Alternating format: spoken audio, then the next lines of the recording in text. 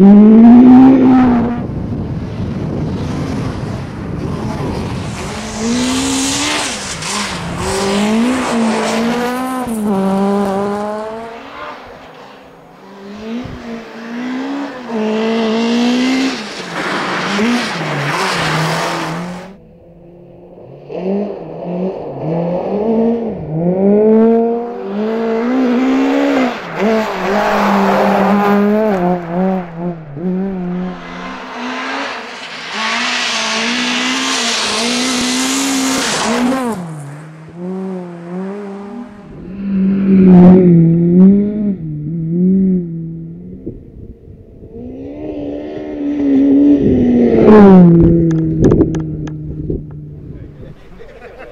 mennään luokkaan 14, jossa palkitaan viisi. Voittaja Niko Konkola. Muista ohjeet palkintoja. Kiitos.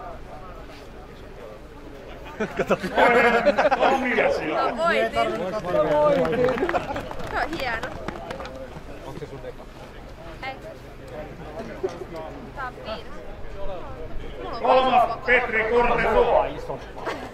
Mä en näet saatana lätkiä.